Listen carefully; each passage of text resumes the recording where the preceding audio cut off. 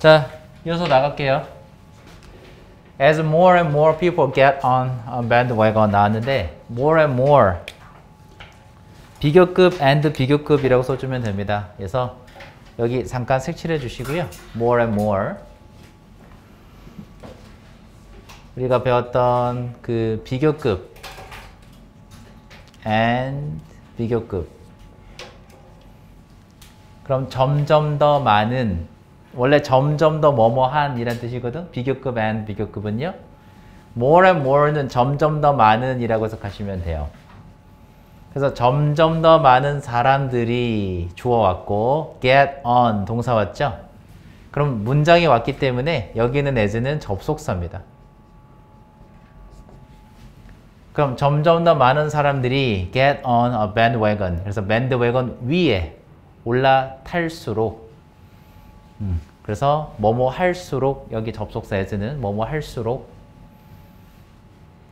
혹은 뭐뭐 하면서도 괜찮아요. get on은 뭐뭐 위에 올라타다 라는 뜻이고 bandwagon 명사죠. 전치사의 목적어라고 보셔도 돼요.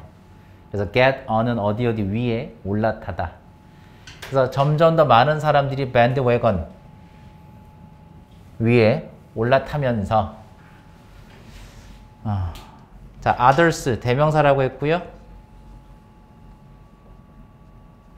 다른 사람들이라고 생각하시면 됩니다. 우리 대명사 나면 항상 두 단어 늘리자고 했죠. 그래서 other people이에요. other people. 그리고 여기 또 색칠해 주세요. are more likely to.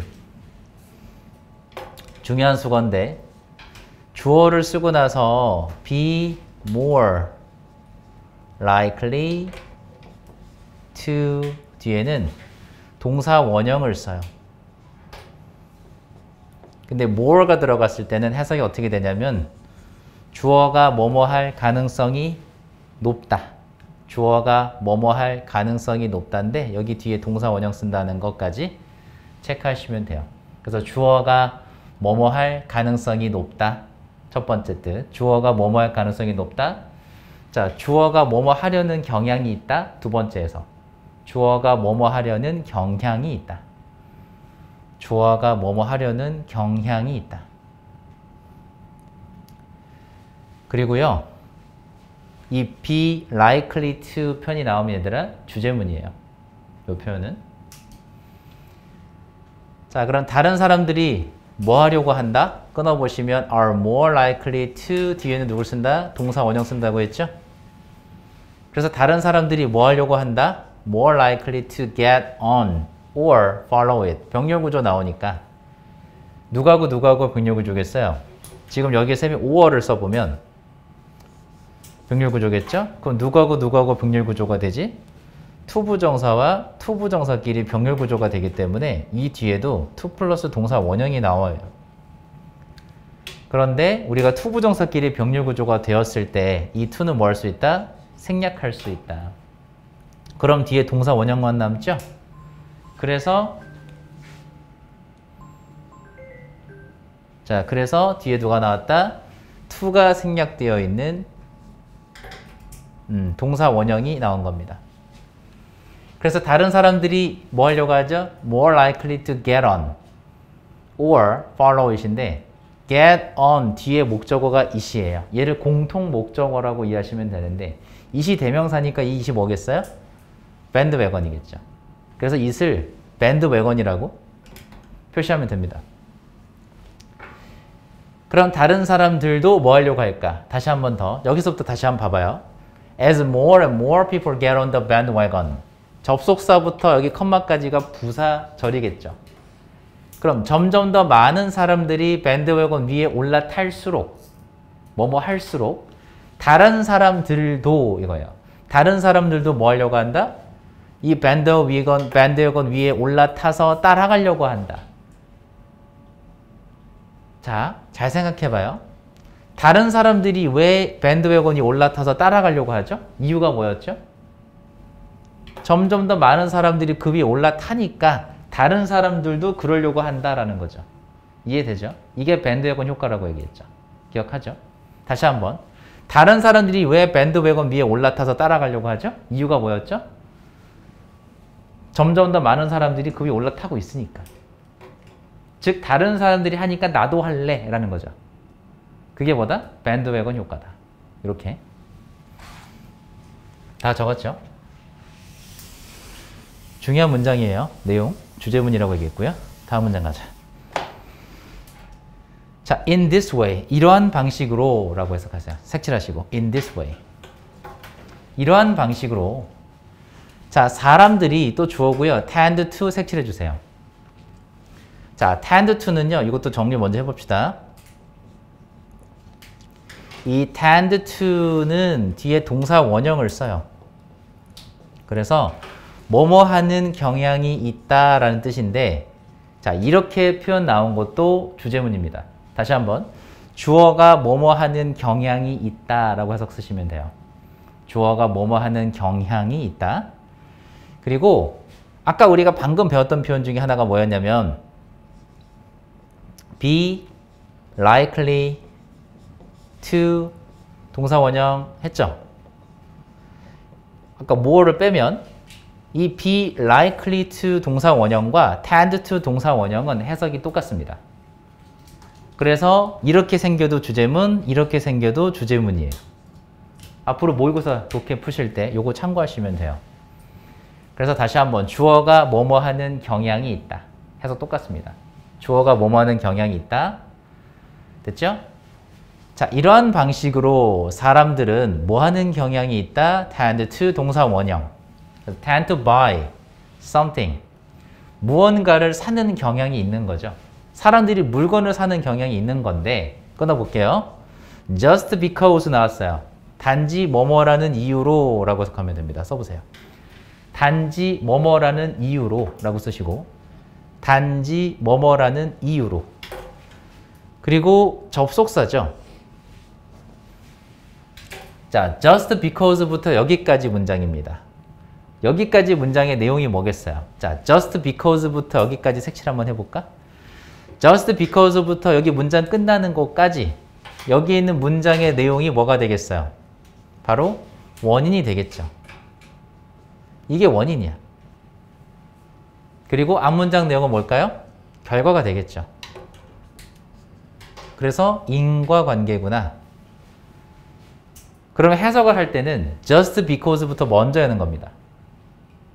그러면 단지 뭐라는 이유로 다른 사람들이 have bought it. 우리 동사 현재 완료 보이죠? 현재 완료는 해서 어떻게 하자? 과거처럼 똑같이 하자. 뭐뭐 했다. 그러면 다른 사람들이 그것을 이시 가리키는 앞에서 뭐였겠어요? something이겠죠? 그럼 다른 사람들이 그것을 샀다라는 이유로 다시 한번 단지 단지 다른 사람들이 그 물건을 샀다는 이유만으로 이거예요. 그 물건을 샀다는 이유만으로 사람들은 그 무언가를 즉 물건이라 합시다. 그 물건을 사려는 경향이 있다는 거죠. 다시 한번 사람들이 왜 물건 사요? 이유가 뭐였죠? 단지 다른 사람들이 그 물건을 샀다는 이유만으로요. 다른 사람들이 샀으니까 나도 사고 싶어 하는 거야. 쌤 아들이 요즘에 포켓몬을 되게 좋아해. 아주 반 좀 정신 나가 있어. 그러면 이 아이가 그걸 왜 좋아할까 이거예요. 왜 그랬을까? 자기 주변 친구들이 얘가 어느 날 갑자기 포켓몬 카드 하나를 주워와. 자기 친구가 줬대. 그게 시작이었어. 내가 보니까. 지가 산 것도 아니야. 난 사준 적이 없거든. 그래서 되게 카드가 귀한 거래. 나한테. 되게 귀한 카드인데 얻은 거래. 희귀하고 드문 거래. 그러더니 어느 순간 애 가방에 막 포켓몬 가방을 달고 댕기고 인형, 인형. 그래서 아침에 학교 데려다 주는데 손을 실어서 이제 이렇게 이렇게 팔을 이렇게 하고 다녀요. 내가 장갑을 하나 사주려고 장갑을 고르라고 했는데 음, 무슨 장갑 샀을까? 어 맞아요. 포켓몬 장갑 샀어. 어, 지금은 너희 주, 주면 껴? 아니야? 별로야? 어 세대가 다르구나. 요즘엔 한 커플 좀 지났어요? 왜 갑자기 왜 그게 유행하지? 한참 전인데. 포켓몬이 나 중학교 때인가 초등학교 때거든? 나는 그게 갑자기 다시 유행하는 거 보고 되게 놀랐어요. 그게 왜 나오지? 하여튼 이유는 모르겠고. 그 아이 주변 친구들이 갖고 있다는 거지. 그러니까 주변 친구들이 다 갖고 있으니까 자기도 갖고 싶은 거야. 이 아이가 뭘 사달라고 떼쓴 적이 단 한 번도 없거든. 진짜요. 뭐 장난감 코너 가서도 그냥 들어놓고 이런 적이 없어. 단 한 번도 없어. 사달라고 뭐 오히려 뭐라고 하는지 알아요? 사줄까 그러잖아. 어린이날에. 아니야 나 집에 장난감 많아. 필요 없어. 안 사도 돼. 놀랍지. 그런 아이가 사달라고 한 게 딱 하나 있었어. 지금까지 딱 하나. 포켓몬 카드. 그거 사달래. 그거 사줬어. 처음이라서. 어, 처음이라 사줬어. 암튼 그 아이가 왜 그랬을까라고 하면 이거죠. 그 아이한테는 다른 사람들이나 다른 친구들이겠지. 그래서 단지 다른 친구들이 그것을 샀다는 이유만으로 사고 싶은 거죠. 이걸 뭐라고 한다? 밴드왜건 효과라고 한다. 그죠? 음. 저번에 왜 블랙 롱패딩 얘기했죠? 얘기 안 했나요? 어, 얘기했잖아요. 너도 나도 다 블랙 롱패딩 사니까 나도 너도 다 블랙 롱패딩 산다. 뭐 이렇게 한다고 했었죠. 이 문제 넘어가기 전에 다시 한번 얘들아 잠깐 봐봐. tend 동사 원형 나오면 해석만 기억하지 마시고 주제문이라는 거 기억해야 됩니다. 알겠죠? 그리고 하나 더 얘기해 볼게요. 잘 봐. tend라는 동사는 to부정사를 목적어로 가지는 삼형식 동사예요. 자, 이거 설명하기 전에 잠깐 봐봐. 여러분들이 이걸 먼저 해볼게요. decide라는 동사는 뒤에 누가 목적어로 오지? to부정사를 목적어로 가진다라고 배운 적 있죠? 그래서 뭐뭐 하기로 결정하다, 결심하다 이렇게 배우잖아. to부정사가 목적어 자리에 온다고 배웠죠? 이거 기억하죠? 이번엔 얘를 조금 바꿔보자. 우리가 뭐로 배운 적이 있냐면 make decisions라고 배운 적이 있죠. 결정하다로. 근데 이럴 때도 뒤에 뭐가 붙어? 이럴 때도 뒤에 to부정사가 붙어요. 그러면 이 to부정사는 하는 일이 뭐지? 얘를 수식하는 거야. 그래서 to부정사 하려는 결정을 하다예요. 이해됩니까? 자, 원리가 뭐냐면 동사일 때부터 to부정사가 붙었던 애는 명사로 바뀌어도 붙어요. 이거 이해된 거야? 자, 이 원리를 이해했다면 tend 가지고 해봅시다. tend의 명사가 어떻게 생겼냐면 바로 tendency예요.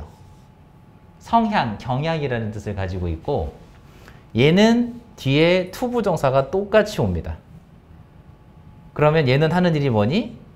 수식이에요. 그럼 해석이 어떻게 되게?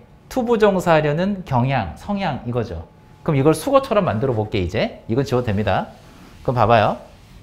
그러면 쌤이 숙어로 만들면 have a tendency 투부정사로 바꿔버렸어요. 바꾸면 얘가 뭐하고 똑같겠어? 우리가 방금 봤던 tend to 동사 원형과 의미가 같은 겁니다. 같은 거예요. 그런데 차이점이 뭐지? 우리 그냥 직관적으로 봐봐. 얘는 짧고 얘는 길잖아. 그죠? 그러면 영어를 쓰는 네이티브는 짧게 쓰는 걸 좋아하는데 이렇게 길게 썼다? 그럼 일부러 늘린 거예요. 그럼 일부러 왜 늘렸을까? 강조한 거야. 그러니까 tend to 동사원형이 나오더라도 주제문인데 만약 얘가 이렇게 길어졌다 라고 하면 아예 대놓고 강조한 거다. 눈치 빨리 채야 돼요. 됐죠? 이 정도. 그리고 tendency하고 성향, 경향이라는 단어에 동의어가 있으니까 하나만 더 미리 알려드리면 inclination이라는 단어가 있습니다. 동의어예요. 그래서 have an, in, 그땐 on이겠죠? have an inclination to 부정사 해도 의미는 같습니다. 고등용이에요. 나중에 많이 나올 거거든. 그래서 뭐뭐 하는 경향이 있다, 성향이 있다. 이렇게 경향, 성향 이 뜻입니다. inclination. 됐죠? 음, 이렇게. 다음 문장 넘어갑시다. 자, why do I buy a pair of pants, a bag after I have bought a new coat? 나왔는데 여기서 끊어볼게요. 이렇게. after 무슨 사겠어요? 접속 사겠죠? 그럼 접주동 부사절 먼저 해석해 봅시다. 그럼 after부터 먼저. After I have bought a new coat. 내가 새 코트를 구매한 이후에 이후에 why do I 내가 왜 뭐뭐 했을까 이거잖아. 그럼 내가 왜? 내가 왜 a pair of pants or bag? 아, 뭐하고 뭐하고 바지랑 가방을 내가 왜 살까? 이거죠. 몰라서 물어볼까요? 지금 새 코트를 샀어. 코트를 샀어. 이거 여학생들은 이해가 가거든? 이거 뭔지 알아, 여자애들은. 남자들은 몰라. 자, 물어보자. 제이가 코트를 새로 샀어. 얘는 너가, 어, 이거 뭔지 알죠? 뭐야, 이거? 어? 얘는 레벨이라고 하는 거야. 봤지? 달라. 얘는 레벨이래야. 넌 뭐라고 할 거야? 루이비통. 다르지? 인정하지? 달라요. 여학생들이 이거 보여주면 루이비통 이러고 남자는 레벨. 게임 좋아하니까. 맞지? 다릅니다. 똑같은 글자 보여줘도 대답이 달라요. 음. 잘한다. 좋은 건지 모르겠지만. 좋아. 아무튼. 너가 루이비통 백을 샀다고 생각해봐. 학교 가방으로. 어, 미쳤지, 그지? 자, 이제 가방이 루이비통이야. 자, 이제 나이키 추리링을 입고 갈 수 있어요? 나이키 추리링에 루이비통 백을 메고 학교를 간다. 어때? 테러지, 테러. 그거. 그럼 어떡하지? 자, 1번. 루이비통을 버린다. 아니야? 그건 못 버리겠어? 그럼 어떻게 하지, 이제? 그럼 내가 이 예쁜 가방을 매기 위해서 뭐 해야 되죠? 나머지 다 바꿔야죠. 이해되니, 이거? 얘는 이해를 못해, 지금. 말했잖아. 이해 못한다, 남자애들은. 이해가 안 가죠? 아니, 왜? 이러고. 그냥 매면 되지. 이러고. 이게 이해가 안 가는 거야. 여자애들은 이해가 가거든. 예를 들면, 구두를, 아주 예쁜 구두를 샀어요. 구찌, 프라다로. 오, 엄청 예쁘죠? 이 구두를 신기 위해서 뭐 해야 되지, 이제? 다 바꿔야지.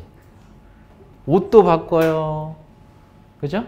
옷도 바꿔야 되죠. 네일도 해야죠. 머리도 해야죠. 화장도 해야죠. 다 바꿔요. 이해가 안 가죠? 그 얘기 하는 겁니다, 지금. 그 얘기 하는 거예요. 이해 안 갔지? 학교에서 수업할 때. 그러니까 이 모든 게 매칭이 돼야 돼. 어? 아니, 잘 생각해봐. 너가 이 디스커버리 옷을 입고 있어. 근데 신발은 고무신? 매칭이 돼야 안 돼. 안 되지. 그러니까 너가 되게 되게 좋은 옷을 입었는데 신발이 이상해. 그럼 안 되잖아. 뭔가 어울리게 신어야 되잖아요. 이해되죠? 예를 들면 아버지가 너한테 정장 구두를 하나 사줬어. 구두만 사줬어. 그럼 교복에 그거 신어요? 안 신잖아. 어떻게 하지? 근데 그 신발이 되게 좋은 신발이야. 예를 들면 구찌야. 어떻게 할 거야? 자, 1번 버린다. 나한테 버려. 어떻게 할 거야, 그럼?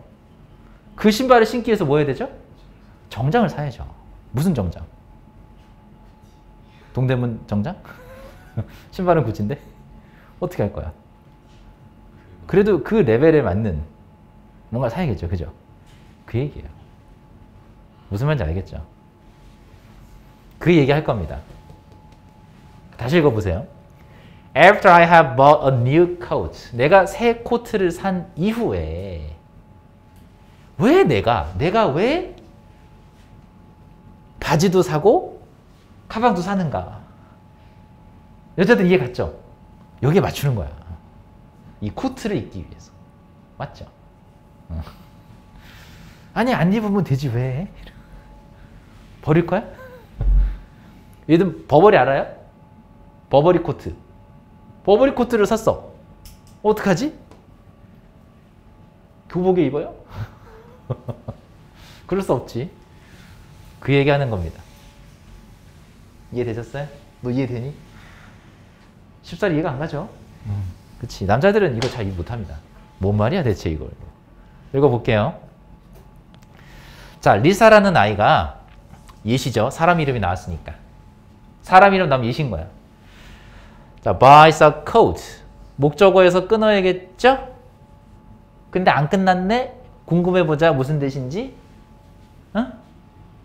뒤에 확인해봐. She really loves. 자, 동사에 뭐가 없죠?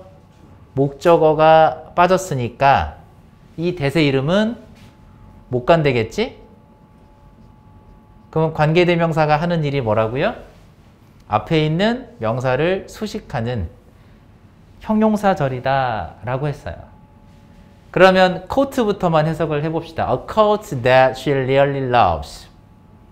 심지어 목적격 관계대명사는 생략도 가능하죠. 그럼 a quote she really loves 해도 돼요. 그럼 그녀가 정말로 좋아하는, 사랑은 하지 말고 그녀가 정말로 좋아하는 코트가 되죠. 그럼 리사가 뭘 샀죠? 그녀가 정말로 좋아하는 코트를 샀어요. immediately 즉시 바로 즉시 즉시 she realized that 쌤이 realize라는 단어는 중요하다라고 했죠. realize는요. 자 realize라는 동사는 굉장히 중요한데 첫 번째는 뭐냐면 잘 봐, 잘 들어 봐. 뭐뭐를 깨닫다인데 아직 쓰지 말아봐. 첫 번째 뜻은 뭐뭐를 깨닫다인데 우리가 살다가 깨닫다는 말 잘 안 써요. 그래서 어떻게 해석을 쓰는 게 좋냐? 뭐뭐를 알게 되다라고 쓰세요. 뭐뭐를 알게 되다. 뭐뭐를 알게 되다. 적었어요? 자, 근데 다시 한번 더 봐봐. 얘들아. realize는 어떨 때 쓰냐면 내가 과거에는 몰랐던 걸 이제 알게 됐을 때 써요. 아, 할 때 있지, 우리. 그랬댔어요. 그래서 realize는 다시 한번 뭐뭐를 알게 되다라고 해석을 하는데 어떤 상황에 쓴다? 과거에 내가 몰랐던 사실을 알게 됐을 때 쓰는 거예요. 그게 realize야. 첫 번째 뜻이고요. 두 번째 뜻은 뭐냐면 여기 real이라는 단어가 들어가잖아. 그래서 현실로 이루다. 현실로 이루다. 현실로 이루다. 그래서 실현하다의 뜻이 있어요. 실현하다. 그러니까 현실로 이루다라는 건 뭐야? 실현한다는 뜻이죠. 이해되세요? 그 두 가지 뜻이 다 있는데 오늘은 첫 번째로 쓰였습니다. 자, 이 여자아이가 코트를 샀어요. 근데 코트를 샀더니 이 여자가 이 여자아이가 뭘 알게 됐을까? 자, 이제 realize라는 단어 뒤에 동사 뒤에 나오는 대시예요. 그럼 동사 뒤에 나오는 대는 무슨 대? 항상 접속사 대시다 라고 얘기했죠. 그럼 접속사 대시니까 가로치고 닫아버리는 거야. 미리. 그럼 이 부분이 뭐겠니? 무슨 역할? 동사의 목적어 역할일 거고 당연히 명사절이겠죠? 그런데 이렇게 생각해봐 이제 잘 봐. realize라는 단어가 뒤에 대절이 났단 말이야. 그럼 봐봐요. 선생님이 주어를 썼고 동사 realize를 다시 한번 보여줄게. 그리고 나서 뒤에 that 그 다음에 주동 나오겠죠. 그럼 가로치고 닫았단 말이야. 심지어 여기는 that은 생략이 될 수도 있어요. 자, 우리가 지금 구조를 다시 한번 보시면 명사절이라고 얘기를 했는데 잘 보세요, 이제. 여기 대절의 내용은 뭐가 나올까? 깨달은 내용. 다시 한번 과거에는 몰랐던 새롭게 알게 된 내용이 나오겠죠. 이해돼요? 이해되세요? 그럼 여기는 대절의 내용이 굉장히 중요합니다. 왜? 이 여자아이가 과거에는 몰랐던 깨닫게 된 내용이 나올 거니까요. 그래서 realize가 나오면 주제문인데 주제문이에요. 이 단어 들어가면 그런데 노하나 눈에 띄는 게 뭐냐면 do not match 지금 어떻게 됐죠? 따로 따로 따로 떨어뜨려 놨죠. 강조한 거예요. 강조한 거란 말이야. 그러면 쌤 눈에는 이 문장이 어떻게 보이냐면 동사 realize를 썼는데 중요하겠지. 그래서 대절의 등이 중요한 거 우리가 이미 마음을 먹었어. 준비를 했어. 그 상태에서 지금 뭐가 나왔죠? do not match라고 강조했습니다. 그럼 여기 있는 대절의 내용이 어떻겠어요? 매우 매우 중요하겠죠. 그럼 이 여자가 알게 된 게 뭔데? 라고 했더니 이 바지가 뭐 하지 않는다. match 하지 않는다. match는 동사 뜻이 뭡니까? 뭐뭐와 어울리다예요. 바지가 그녀의 새로운 코트와 어울리지 않는다라는 걸 알게 된 거예요. 코트는 예를 들면 버버리인데 바지는 추리닝이야. 동백중 추리닝. 어때? 테러지. 절대 입을 수 없죠. 지금 너가 추리닝 바지를 입고 있는데 거기에 버버리 코트를 버버리 뭔지 알아요? 어. 입고 있으면 어떻게 되는 거야? 이상한 놈이 되는 거지. 그래서 그녀의 바지가 어? 새 코트와 do not match니까 어울리지 않는다라는 사실을 다시 한번 뭐뭐라는 사실을 이라고 해석하는 게 좋아요. 편 말했잖아. 몰랐던 사실을 알게 된 거라고. 그래서 다시 한번 그녀의 바지가 새 코트와 어울리지 않는다라는 사실을 알게 된다. 알게 되다. 그래서 깨닫다보다는 알게 되다. 알겠지? 알게 되다. 그럼 이걸 알게 됐으면 몰랐으면 상관없는데 알게 됐으면 어떻게 하겠어 이제? 1번 코트를 버려? 바지를 버리겠지. 그렇죠? 바지를 버리겠죠? 적었나요? 오케이. 다음 문장.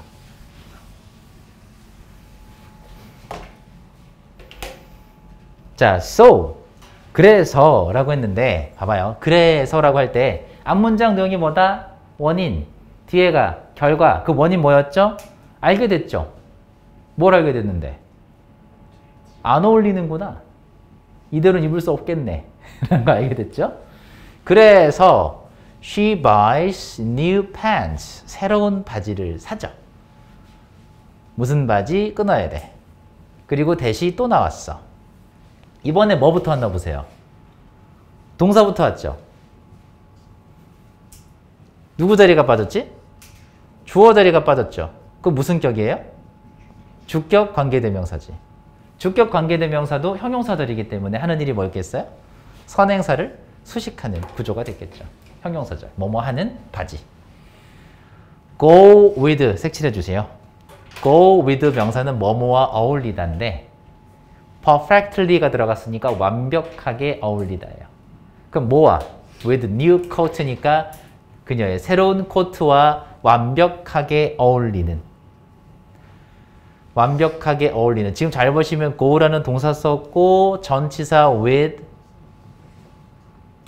전치사의 목적어 new coat 그러면 주어 자리만 빠져 있는 거 되죠? 그래서 주격인 거야.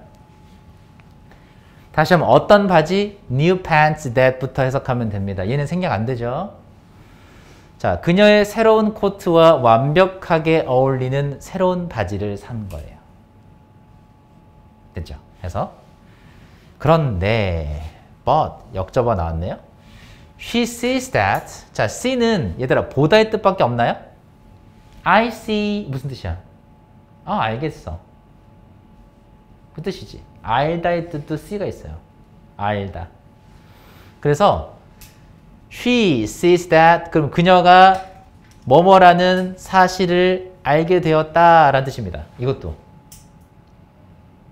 그래서 여기선 C가 왔는데요. 나중에 공부 조금 더 하시면 notice란 단어가 나와요. notice. notice가 뭐냐면 알아차리다 뜻이에요. 알게 되다, 알아차리다.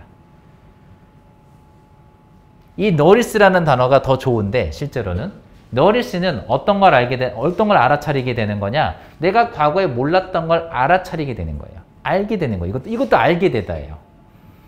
그래서 see, notice, 아까 우리가 배웠던 realize 다 한 통속이라 보시면 돼요. 다 어떤 느낌이야? 다시 한번 과거에는 몰랐던 사실을 알게 된 거예요. 다 이럴 때 써요. 하지만 자 얘가 지금 왜 하지만을 썼어? 바지 샀죠? 그럼 코트 샀어? 바지 샀어? 그럼 다 된 건가? 라고 했더니 none of her bags 나왔어요. 그리고 match, match 셈 문제로 냈는데 분명 동사죠. 그럼 주어를 찾아야 된단 말이지. 다시 한번 see, notice, realize 무슨 뜻이다? 뭐뭐를 알아차리다요. 알게 되다. 알게 되다. 음. 자, 그 다음 우리 난 배웠습니다. 지난 시간에 배웠을 거예요. 필기 한번 확인해 볼까? 쌤이 그 수일치 관련된 문법 알려드린 게 있습니다. 왜? 감, 감동적이야? 뭐가 아파? 응. 감동받은 줄 알았잖아. 자, 자, 찾았나요? 수일치 배운 거? 음, 불러볼까? all, some, any, have, 음, percent, 또 most, the rest, 분수, majority, none. 기억나세요? 오케이. 그 중에 지금 난 나왔어요. none. 얘네들이 나오면 어떻게 하자? 전치사 of 뒤에 붙어 있는 명사가 주어다. 그래서 수일치는 이 주어한테 맞춘다. 이 구조가 나오면 무조건 수일치 문제 나온다고 얘기했죠. 지금 none이 왔어요. none이 주어가 아니라 of 뒤에 있는 명사가 주어라는 거야. 이거 조심합시다. 수일치는 여기한테 맞추는 거예요. none이 아니라. 그럼 누가 주어인지 확인해 봅시다. none이 나왔어요. of가 붙었고요. 그럼 누가 주어라고? of 뒤에 있는 명사가 주어다. 그럼 주어가 bags니까 단수예요, 복수예요? 복수죠? 그럼 복수 동사 써야 되잖아. 답은 얘겠지. 복수 동사. 얘는 안 되죠? 단수 동사니까. 자, match 동사 뜻이 뭐였죠? 뭐뭐와 어울리다예요. 해석을 할 때는 보세요, 이제. 나, non이나 no가 들어가 있는 문장은요. 봐봐요. 나, no나 non이 들어가 있는 문장은 동사를 부정하면 됩니다. 그럼 match가 뭐뭐와 어울리다였죠. 그럼 반대로 해봐. 어울리지 않다. 그렇게 해석하는 거야.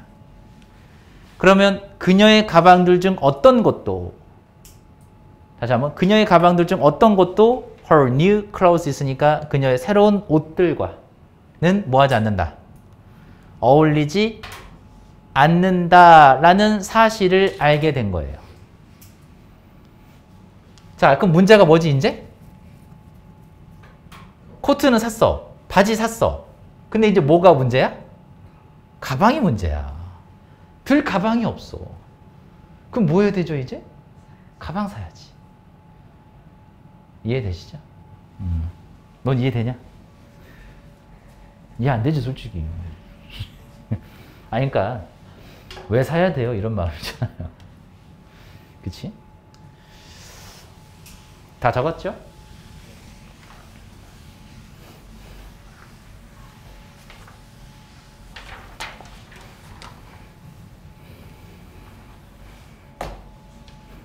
다 적었죠? 음. So, 또 나왔어요. 앞에서 알게 된 내용이 뭐였지? 뭐가 문제였어, 이제? 가방이 문제잖아. 그러니까, 그래서 she buys a new bag. 새 가방을 삽니다. 지금 처음에 출발이 뭐였죠? 코트. 그 다음에, 어? 코트 다음 뭐였어요? 아까? 바지. 그 다음에, 가방. 끝이 없죠. 자, most of our money. 이렇게 어떻게 되겠어? 이제 그짓골 되는 거야, 이제 이렇게 하면. most of가 나왔습니다. 주어 찾아보세요. 아까 했던 문법이에요. of가 붙었다. 그지? 누가 주어지? her money. 주어인데, 얘들아, money는 가산이야? 불가산이야? 불가산이죠. 쌤 U 썼습니다. 불가산 명사는 무슨 취급한다? 단수 취급한다. 그래서 단수 동사 써야죠.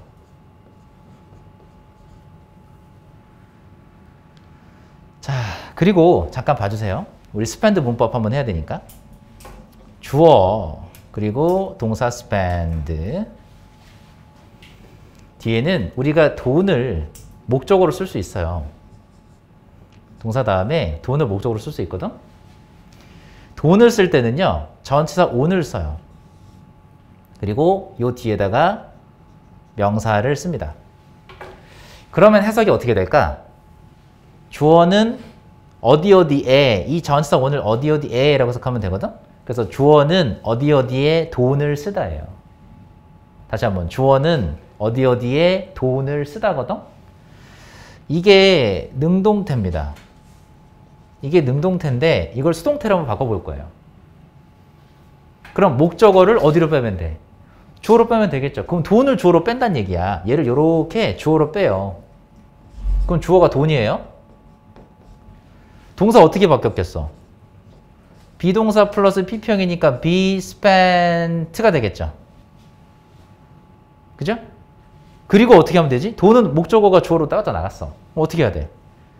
전치사 on 그대로 하겠죠? 그리고 명사 그대로 쓰겠죠? 지금 우리가 만든 게 수동태입니다. 그러면 얘는 해석을 어떻게 하냐 이거지. 쌤이 수동태 해석할 때 어떻게 하자? 주어가 보통 간데 돈가 이상하잖아요. 돈이 돈이 어디 어디에 쓰이다. 다시 한번 돈이 어디 어디에 쓰이다. 해석 쓰시고 주어 돈이 어디 어디에 쓰이다. 사용되다. 주어가 어디 어디에 쓰이다. 사용되다. 이렇게 해석하시면 돼요. 적었죠? 이 구조 알고 해석하는 거예요. 다 적었나요? 여기까지. 자, 다시 돈이 어디 어디에 쓰이다예요. 사용되다. 다 적었죠?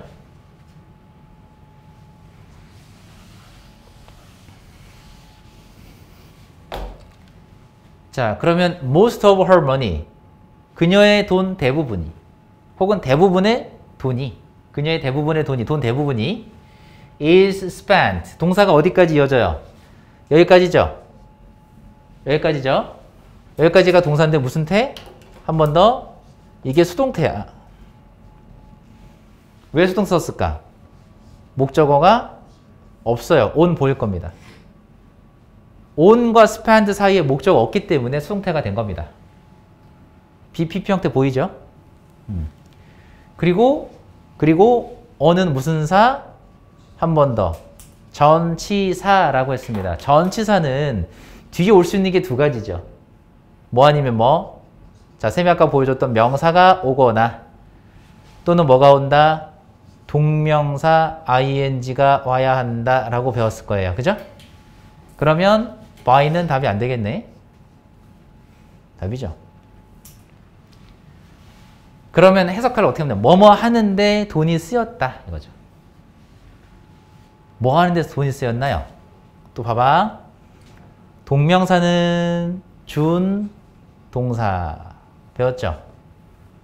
그럼 준동사에 뭐가 필요해 이제? 어, 준동사의 목적어가 필요한데 그게 누굽니까? new items. 일단 끊어봐요. 지금 여기서 끊는 이유가 뭐야? 준동사의 목적어 왔으니까 일단 끊는 거야. 그죠? 그럼 여기까지 해석을 먼저 해봐요.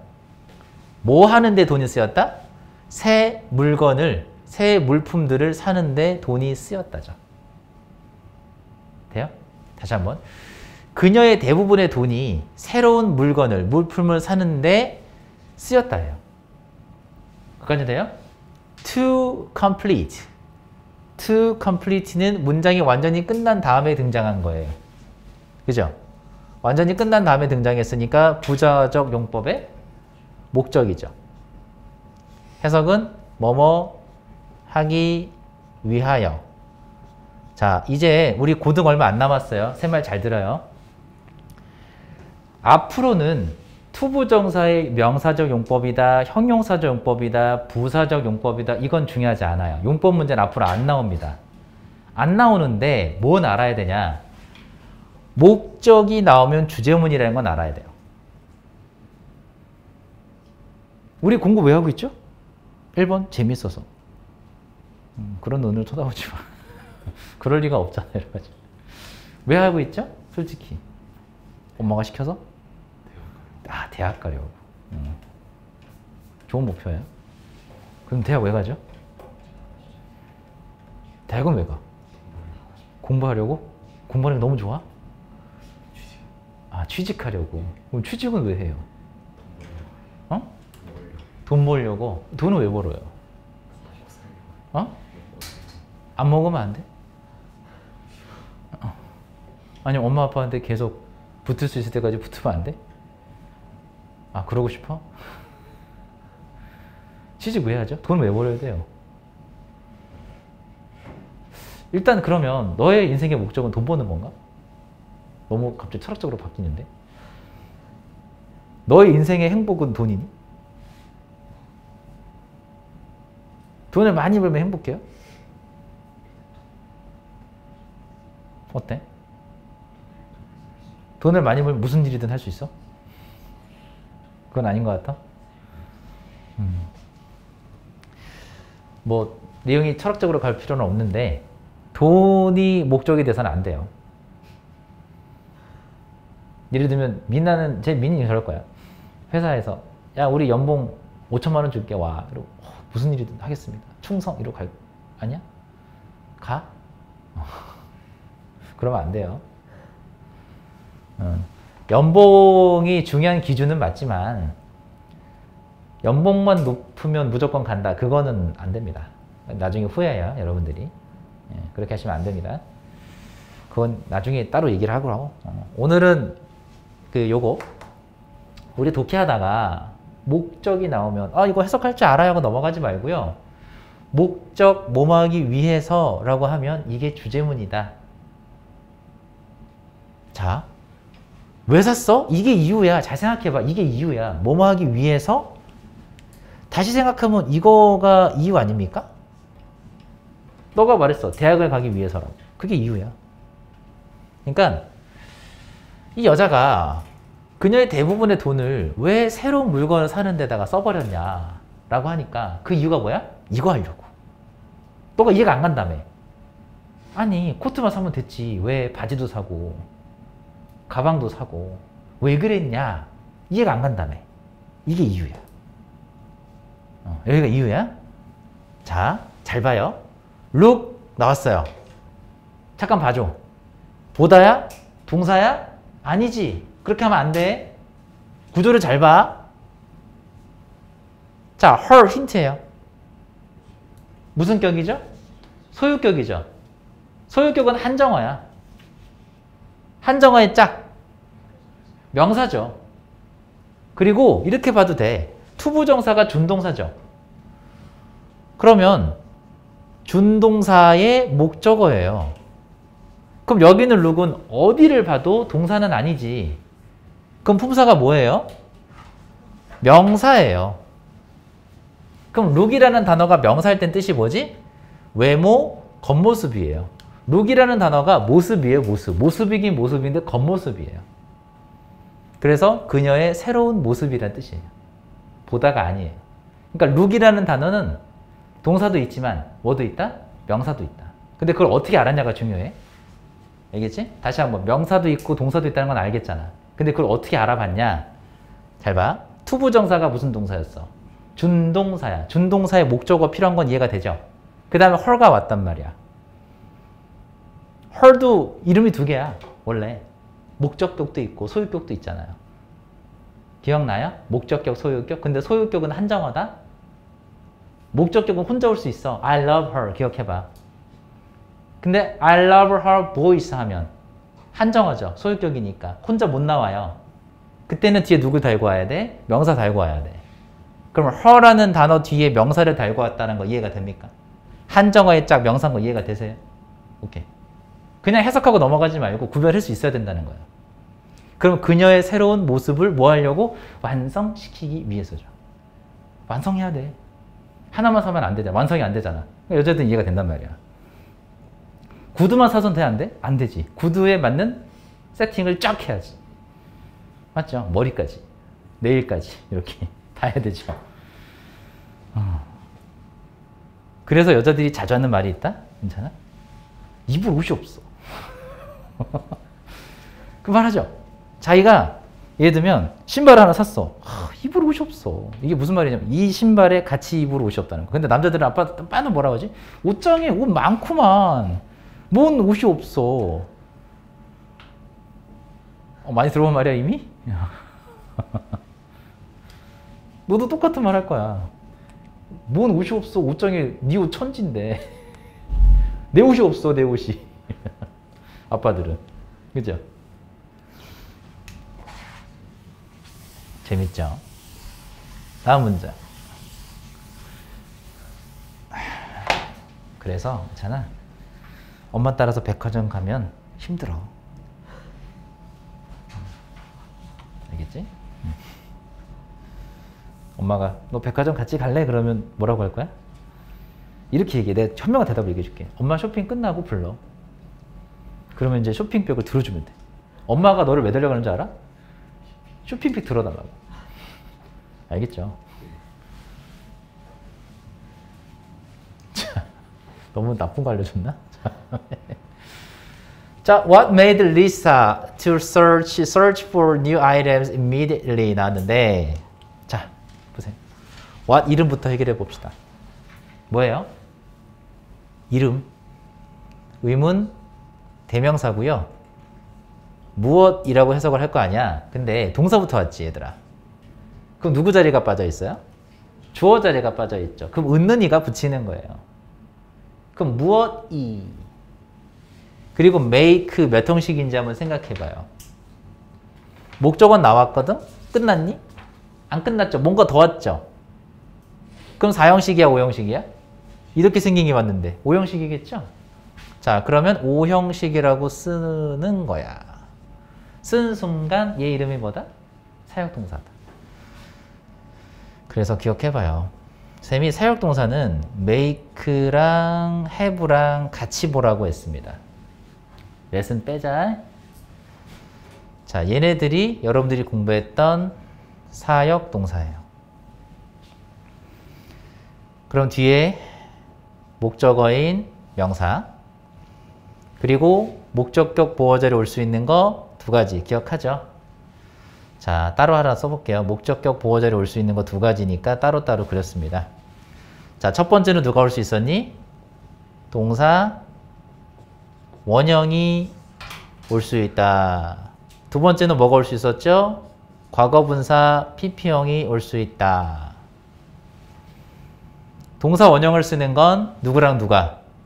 목적어와 목적격 보어의 관계가 능동관계일 때 쓰는 건데 능동관계라는 걸 어떻게 한다고 했어요? 요 뒤에 목적어가 따로 있는 그림이다 라고 했죠. PP형은 목적어와 목적격 보어의 관계가 무슨 관계? 수동 관계일 때 쓰는 건데 이건 목적어 없을 때 쓰는 거라고 했어요. 그리고 쌤 이런 얘기 했죠. 절대 투부정사는 올수 없다. 안 된다. 다음 이 목적을 우리가 의미상의 주어라고 부르죠. 해석이 두 개가 다르죠. 해봅시다. 주어는 목적어가 뭐뭐 하게 하다. 얘는 주어는 목적어가 뭐뭐 되게 하다죠. 해석 달라요. 그리고 쌤한테 배운 친구들은 요 차이도 구별하죠. 기억해 보시면 쌤이 make는 어떤 느낌이 들어간다고 했냐면 force의 느낌이 들어간다. 강압. have는 뭐라고 했죠, 쌤이? 얘는 그냥 neutral이다. 강압이 없어요. 차이점도 기억하시는 게 좋아요. 그러면 어떤 느낌이냐면 지금 사역동사를 make를 썼단 말이야. 그 중에서도. 그럼 어떤 느낌이냐면 이 리사라는 아이가 저항할 수 없이 어쩔 수 없이 하게 됐다는 뜻인 거야. 무슨 말인지 이해되겠어요? 음, 그러면 무엇이 리사로 하여금 의미상의 주어니까 뭐뭐로 하여금이 좋겠죠? 의미상의 주어 써주시고 뭐뭐로 하여금이라고 써주세요. 뭐뭐로 하여금. 그럼 다시 한번 여기까지 무엇이 리사로 하여금 뭐뭐 하게 했을까 이건데 여기까지는 됐어요? 다 적었죠? 여기까지는 그 다음 잘 봐. 그 다음 알아야 되는 내용이 뭐냐면 이 search for예요. 이 search for는요. 이 search가 자동사입니다.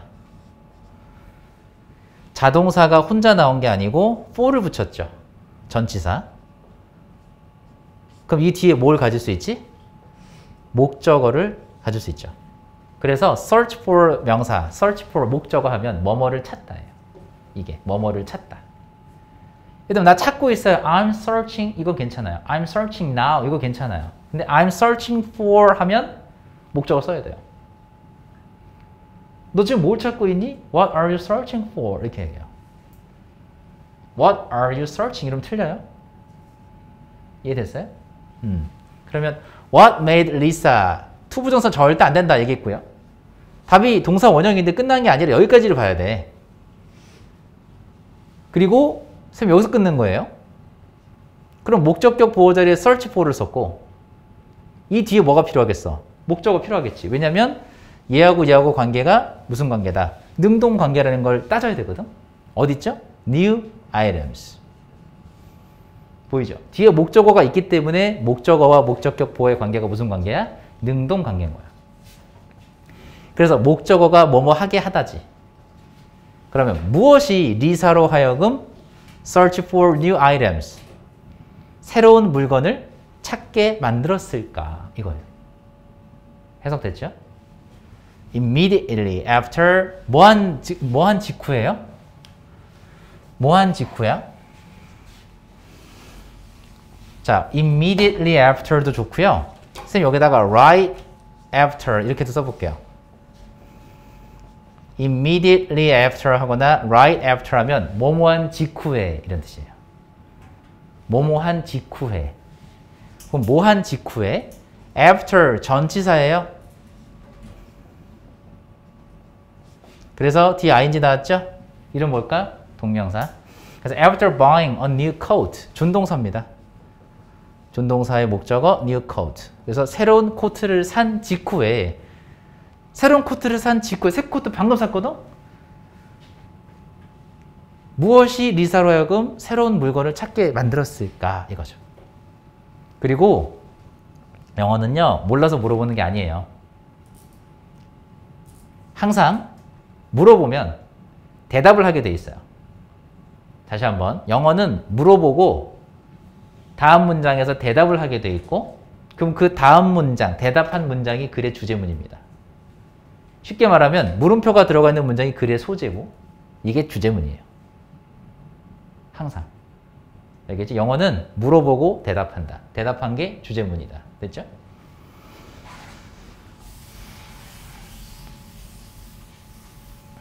다음 문장.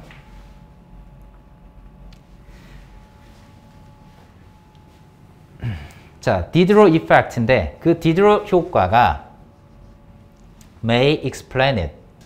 그것을 설명할지도 모른다. 근데 explain은요. 삼형식 타동사라는 걸 외워주세요. 얘는 시험 문제에서 아주 유용하게 써먹는 애 중에 하나거든. 삼형식 타동사라는 거 외우세요. 얘는. 쌤 외우라는 거 몇 개 안 하지. 음. 자, 그래서 디드로 효과라는 것이 그것을 설명할 수도 모른다. 자, 이게 뭔데요? 라더니 데니스 디드로 주어죠. 그리고 컴마가 찍혔어요. 그리고 컴마가 또 찍혔죠. 다시 한번, 다시 한번. 주어 자리에 명사가 왔는데 동사 바로 왔어요? 안 왔죠. 컴마 컴마가 찍힌 거란 말이야. 잘 봐 그럼. 주어가 나타났는데 주어가 명사예요. 우리가 배운 것처럼. 그 다음에 컴마가 찍혔다. 그지? 그리고 컴마 뒤에 뭐가 왔냐면 명사가 등장했어요. 보이죠? A French writer. 명사가 왔고 컴마 찍혔단 말이야. 이렇게 컴마 컴마인 부분은 가로치고 닫으세요. 그리고 명사, 컴마, 명사. 다시 한번 잘 봐. 명사, 컴마, 명사가 나오면 이거 뭐다? 동격이다.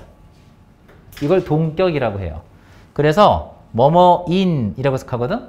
이거 해석할 때 봐봐. 주어인 명사 이게 아니고 뒤에 거부터 하는 거예요. 얘부터 먼저 하는 거야. 명사인 주어야. 거꾸로 가야 돼 알겠지? 명사인 주어야.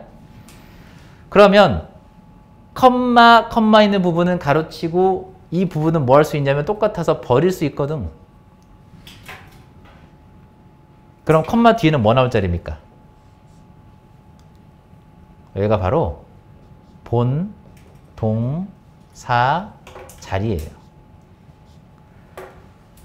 자, 지금 이 본동사 자리에 쌤이 여러분들한테 보기를 이렇게 생긴 애랑 ed가 붙은 거랑 보여드렸죠.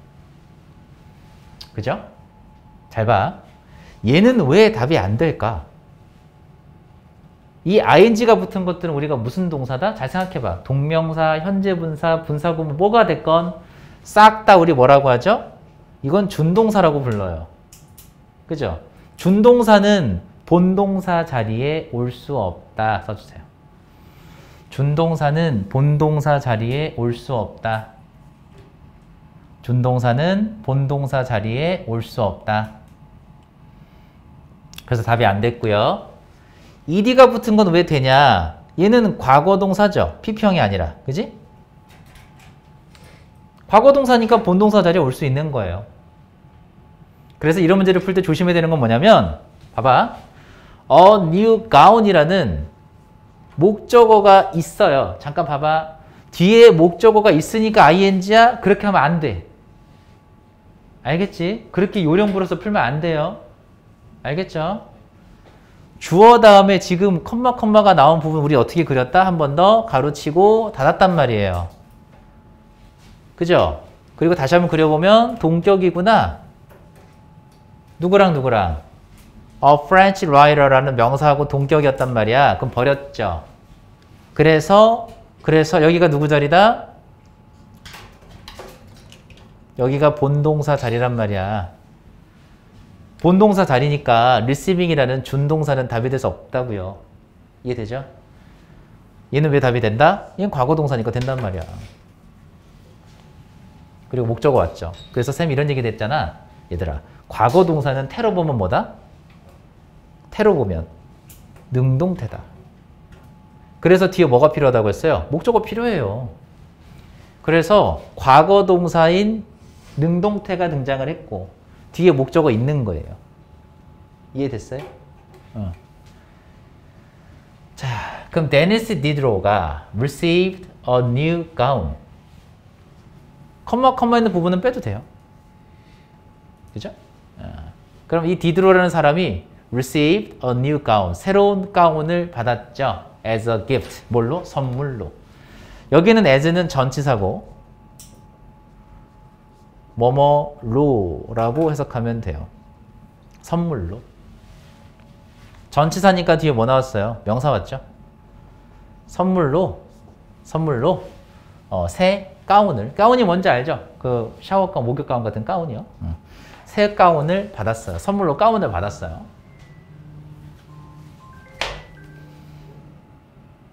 자, 여기까지 됐나요?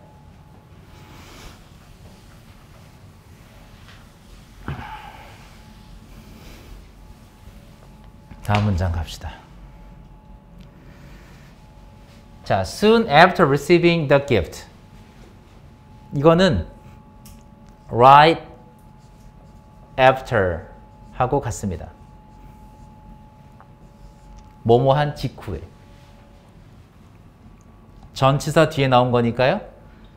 동명사 ing일 테고 준동사 이해되시죠? 목적어 컴마까지 무슨 구? 헷갈리지면 안 돼요. 전치사니까. 어, 부사구죠.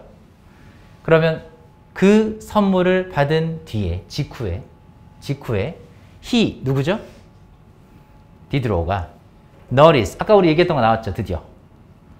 쌤이 notice는 해석이 뭐다? 알게 되다. 근데 뭘 알게 됐다? 과거에 몰랐던 사실을 알게 되다. 그러면 뒤에 대절 또 나왔네요. 여기서부터 여기까지. 이 대절의 내용이 뭐겠어? 이 사람이 몰랐던 사실이겠죠. 깨닫게 된 사실이겠죠. 이해되죠, 이제? 이 깨달았던, 깨닫게 된 사실의 내용이 중요하다. 그럼 뭘 알게 되는지 봅시다. All of his furniture 나왔어요. all of가 나왔습니다. 누가 주어예요? 이것도. of 뒤에 있는 명사가 주어입니다. 근데 furniture는 불가산 명사예요. 그럼 단수 취급하겠죠. 근데 다행스럽게도 시제가 과거라서 수일치는 안 했어요. 자, 근데 동사의 모양을 잘 볼까? did not go well with. 다 따로 떨어져. 뭐 했다 이거? 강조했다. 봐봐. go well with는 뭐겠어요? 뭐뭐와 잘 어울리다겠죠. Go with가 뭐뭐 어울리다였잖아요. well이 붙었으니까 뭐뭐와 잘 어울리다인데 전치사 with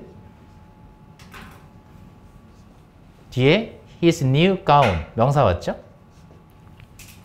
그 그의 새로운 가운과 뭐하지 않는다? 어울리지 않는다라는 사실을 알게 된 거예요. 가운을 선물 받았는데 뭐가 문제가 됐어? 집에 있는 가구가 마음에 안 들어. 가구가 내 가운하고 안 맞아. 그럼 어떻게 해? 우리 상식적으로 생각하면 어떻게 해야 돼요? 가운 못 입죠. 이해가 돼요? 이 아저씨 뭐 했을까? 추측해봐. 뭐 했을 것 같아, 이제? 가구를 싹 갈아엎어요. 맞아요. 그렇게 합니다. 미쳤지, 그지? 자, 다 적었죠? 아, 참 얘기 안 했네. 동사의 누구 자리? 목적어 자리에 명사절 된 거예요. 그래서 여기 있는 내용이 중요하다고 얘기한 거죠. 자, 다시 한번. 이 아저씨가 뭘 알게 됐죠? 이 대절의 내용이 뭐예요? 가구가 어울리지 않는다. 뭐랑? 가운이랑. 됐지? 됐죠? 다음 문장. 재밌어지죠? 점점? 난 이 교과서 내용 재밌을 것 같아.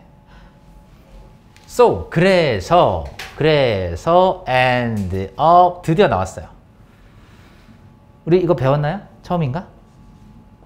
쌤이 이거 했는데, and, of 나오면요. 뒤에 ing, 동명사입니다. 중요하고요. 결국 뭐뭐 하게 되다. 주어가 결국 뭐뭐 하게 되다 라고 해석을 합니다. 시험 문제 굉장히 잘 나와요. 이왕 배우는 김에 하나 더 배워가세요. and of 다음에 전치사 with를 쓰는 경우도 있어요. 그래서 end up with라고 기억을 하시고 얘가 무슨 사죠? 전치사죠. 그래서 요 뒤에는 명사를 씁니다. 다르죠 아까랑? 해석도 달라요. 이게 우리가 문법을 공부하는 이유겠지. 문법이 다르다라는 건 해석이 다르다는 얘기잖아요. 자, 잡아봐. 동명사라는 건 얘들아, 동명사라는 건 이 안에 동작이 들어가지. 동작이 들어가, 행동 들어가잖아요. 주어가 결국 이 행동을 하게 되더라. 이렇게 해석하는 거야. 행동이에요, 행동. 얘는 행동입니다. 알겠어요? 다시 한번 주어가 결국 이 행동을 하게 된다. 이렇게 해석하는 거라고. 근데 얘는 명사잖아요. 주어가 결국 이 명사가 되다예요. 예를 들면 그가 결국 훌륭한 사람이 되었다. 모든 역경과 고난을 이겨내고 그가 결국 훌륭한 사람이 되었다.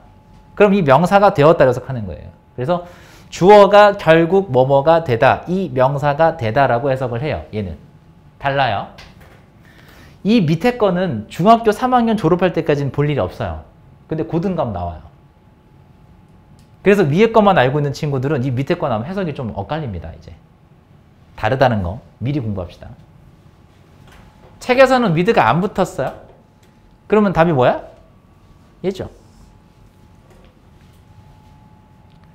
그럼 replace라는 단어를 알아야겠네. replace는 뜻이 뭐죠? 뭐뭐를 바꾸다, 교체하다인데 책에서는 단어만 나왔지만 쌤이 수고로 한번 보여드릴게요. replace A with B라는 수거가 있습니다. A를 B로 교체하다, 바꾸다예요. A를 B로 교체하다, 바꾸다. A를 B로 바꾸다인데 아, 책에서는 지금 이 with B라는 부분이 없구나라고 보시면 돼요. 그럼 A를 교체하다, 바꾸다가 되죠. with B가 붙으면 A를 B로 교체하다, 바꾸다가 되는 거예요. 그럼 most of it, 뭐죠? most of it? 이서 이시 가리키는 건 furniture입니다.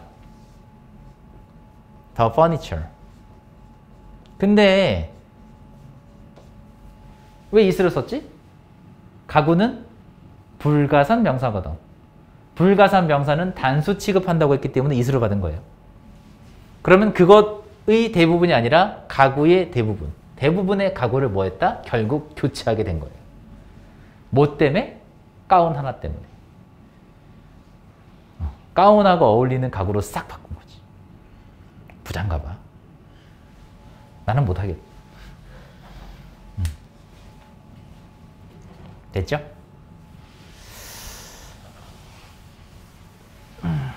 이걸 우리가 무슨 효과라고 한다? 우리 내용을 잊어버리면 안 돼. 이게 무슨 효과야? 이게 디드로 효과예요. 그럼 디드로 효과가 뭔지 얘기해 볼까? 뭔가가 하나가 바뀌었어.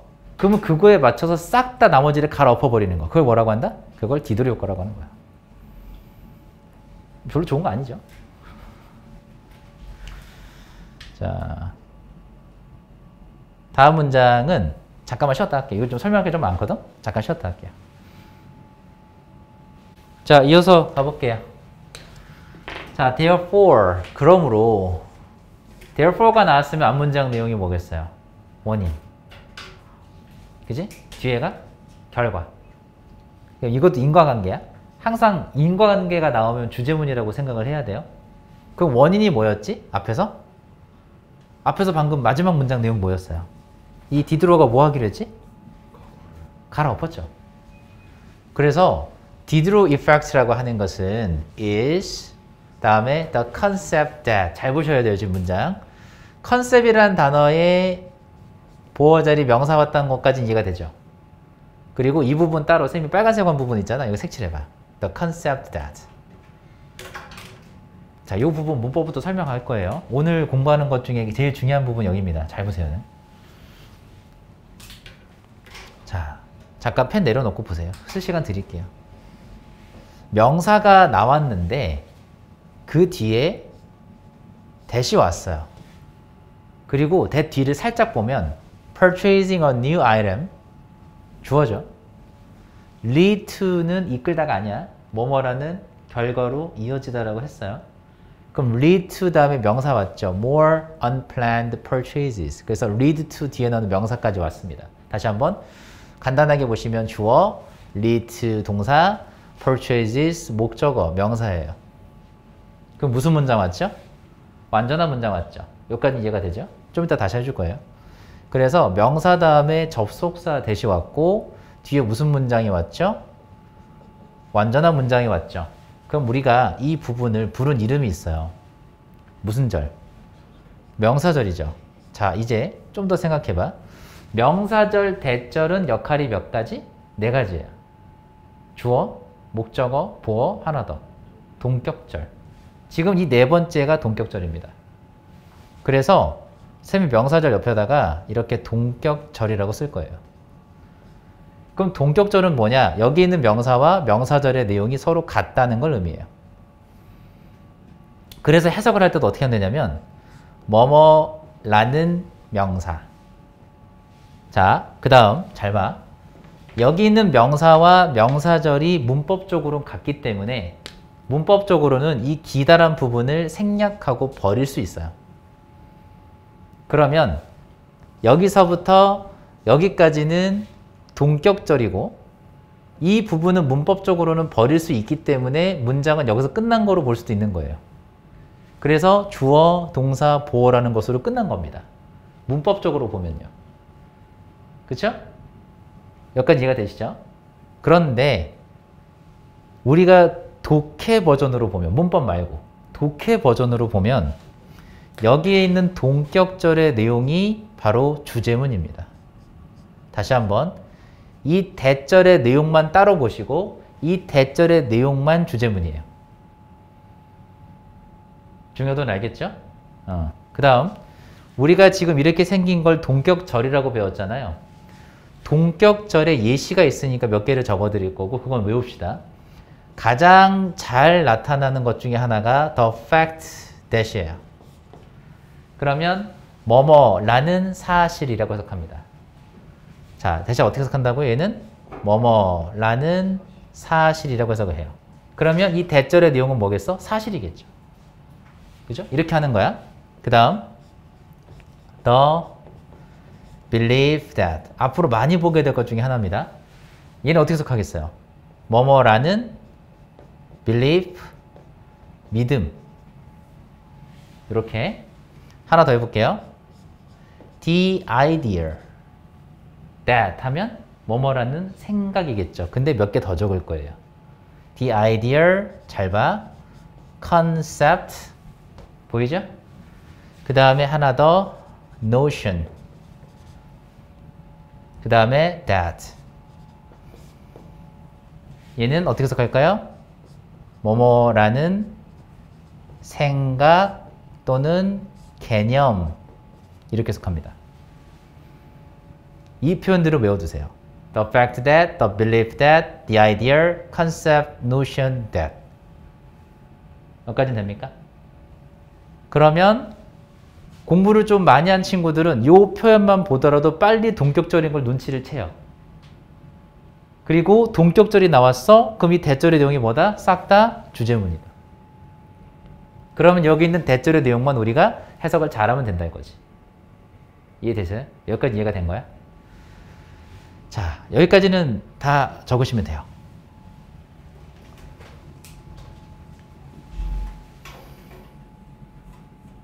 자, 다 적었죠? 봅시다. 그리고 우리가 기억해야 될 내용이 한 가지 더 있으니까 수업 시작하기 전에 한 가지 더 적을 거니까 적으세요. 또. 자, 이 부분 때문인데 바로 이 부분이에요.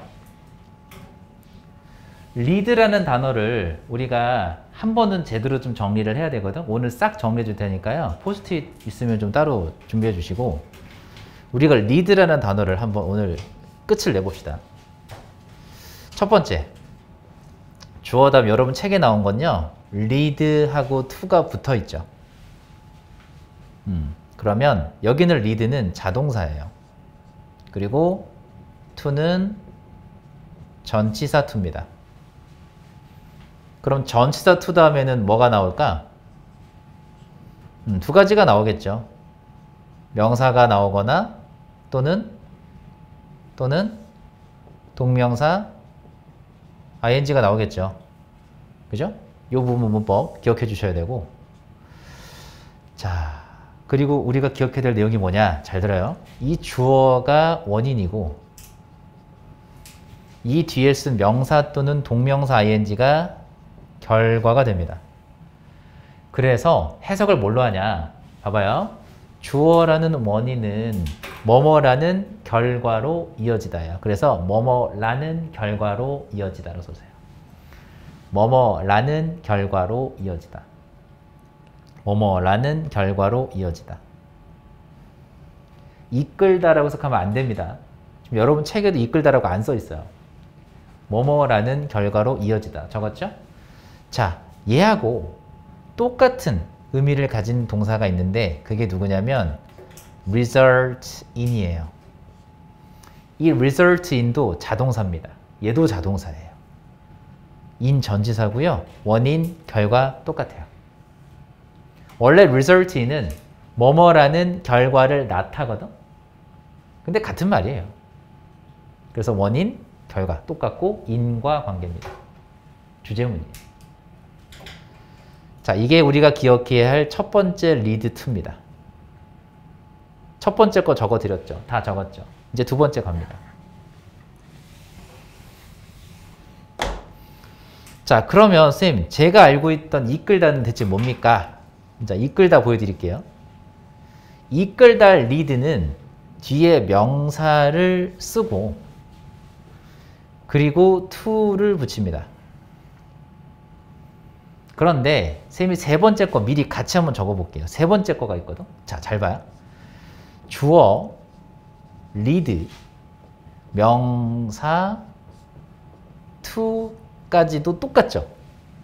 완전 똑같죠. 근데 딱 하나만 달라질 겁니다. 이 뒤에 나오는 게 달라지는데 뭐가 다른지 보세요. 얘는 뒤에 명사가 나오고요. 얘는 뒤에 누가 나올 거냐면 동사 원형이 나올 거예요. 다르죠? 여기 하나만 다르죠? 자, 여러분들이 이끌다라고 알고 있던 건 얘예요. 그리고 목적어입니다. 투는 무슨 투지? 명사 나왔으면 전치사겠죠. 얘가 바로 삼형식 동사가 되고요. 삼형식 동사가 됐을 때 뜻이 바로 이끌다예요. 그러면 이렇게 이해해 볼까? 명사에다가 여기를 A라고 한번 써보고 여기 있는 뒤에 있는 명사에다가 B라고 한번 써볼게요. 그래서 여러분들이 lead A to B 이렇게 배운 친구들이 있어요. 그럼 어떻게 해석을 하면 되냐면 주어는 A를 B로 이끌다예요. 주어는 A를 B로 이끌답니다. 이게 이끌다예요. 그러니까 리드 혼자서 이끌다라고 하지 말고 A를 B로 이끌다예요. 전치사 투기 때문에 뒤에 명사가 나온다는 게 특징이다. 요거 기억해 주세요. 자, 요게 삼형식의 리드고 요 밑에 거인데 또 보세요. 이번에 뭐가 달랐지? 이 to 다음에 동사 원형을 쓴 게 달랐잖아요. 요걸 썼잖아, 얘는. 그치? 자, 미리 보여드리면 여기 있는 리드는요, 오형식이에요. 이거 오형식입니다. 그래서 목적어고요. to 부정사 누구 자리에 왔겠어? 얘가 목적격 보어 자리예요. 그러면 해석이 어떻게 다를까? 주어는 목적어가 뭐뭐 하게 하다예요. 이끌다가 아니고 주어는 목적어가 투부정사하게 한다 이렇게 해석하는 거예요. 다르죠? 이해됐어요 이제? 구별됐나요? 자, 한 가지 팁을 드리면 앞으로 여러분들이 보게 될 모의고사 혹은 수능까지도 이 이끌다의 해석을 볼 일은 없어요. 앞으로는. 그럼 여러분들이 쌤이 적어준 1번, 2번, 3번 중에 뭘 기억해야 되냐? 1번과 3번은 기억해야 됩니다.